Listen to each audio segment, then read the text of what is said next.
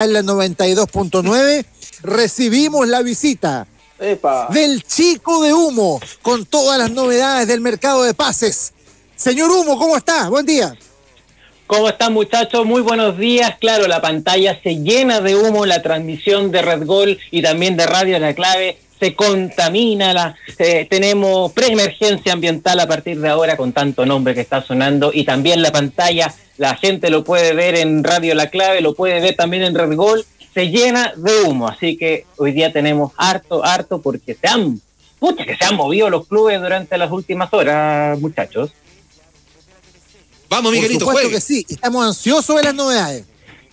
Mira, por novedades, por novedades, los de Unión Española no se detienen, son una máquina. Ignacio Lemo, Miguel Pinto, que se sumaron durante la última jornada y sin duda son los que también se han reforzado bastante en esta temporada de fichaje. En Twitter a cada rato están subiendo en distintas novedades y también lo mencionamos también por Miguel Pinto, lo mencionábamos hace algunos días, el experimentado arquero ya es parte del cuadro de Santa Laura, al igual que Ignacio Lemo, volante de Deportes Puerto Montt, que también ha sido de gran temporada durante estas últimas jornadas. Y hablando de ídolos, también la Unión Española también repatria, por decirlo de una manera, a uno de sus grandes eh, elementos, muchachos, y también se lo pongo, en la, eh, lo pongo en la mesa, hablando de ídolos, Gonzalo Villagra, que vuelve a Unión Española. Llegó el día del retorno de uno de los ídolos hispanos, muchachos.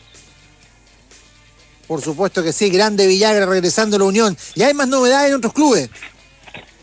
Claro, porque, por ejemplo, Byron Bustamante, que estaba sonando en Colo Colo la figura de Deportes Puerto Montt, por ahí también estaba sonando en otros lados, en La Calera, en Wanderers, en O'Higgins, en Antofagasta y también incluso en Unión Española, así que también una de las joyitas de Puerto Montt que también está sonando en un club de la primera división del fútbol chileno. Y claro, tenemos más mercado de fichajes eh, durante esta jornada. Les voy tirando más nombres, les voy tirando más posiciones. Martín Rodríguez, que acerca posiciones también para fichar eh, en eh, Colo Colo. Lo que mencionábamos el día de ayer también, Guillermo Barros Esqueloto, que es descartadísimo como técnico de la, de la Católica. Y también en Colo Colo, Cristian Palacios, muchachos, que también se acerca al cacique, reconoce que su representante ha conversado con la gente de Colo Colo a propósito de lo que conversamos en el primer bloque.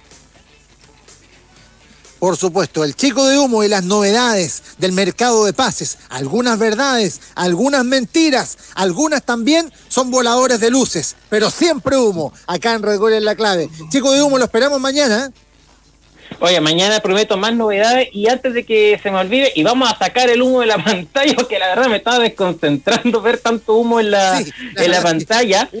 De verdad me estaba desconcentrando el tema de la pantalla. Eh, le traigo también otro humo eh, a propósito también de Julio Barroso, Tomás Galdames como sucesor también de Julio Barroso, también le dejo, dejo la inquietud. Unión Española quiere 1,3 millones de dólares por el 100% del pase y con lo cual estaría dispuesto a ofrecer, dicen, dicen 700 mil dólares por la mitad del pase. Así que también dejo la, pelota ahí votando con Tomás eh, Galdames. Descartamos también lo de Ronald de la Fuente que sonaba en Santiago Wanderers por petición supuestamente de Ronald Fuentes, el mismo Ronald Fuentes lo descarta.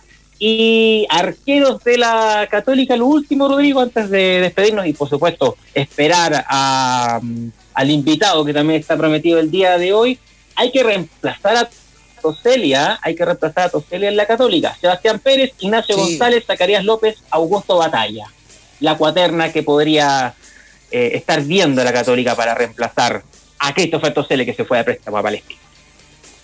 Claro que sí. El chico de humo acá en Recorrer la Clave, por supuesto, eh, esperando tener más novedades en el día de mañana. Muchas gracias. ¿ah? Vamos a leer algunos comentarios mientras tanto, porque ha llegado un montón de opiniones de la gente. Por ejemplo, don Ramón Lizana, que nos opina acá. Lo que le hicieron con Paredes es lo que pasa con muchas sociedades anónimas o empresas donde eres solo un número. Al momento de tomar la decisión no tiene nada con sacarte sin siquiera decir las gracias por todo lo brindado. Nos comenta con negociación clave RG como hashtag. Andrés Ampuero, colega y amigo, nos dice acá, no, no pretendo defender a Blancoñero, ¿ah? pero Paredes tuvo dos oportunidades para irse por la puerta ancha, ambas las desaprovechó. Eso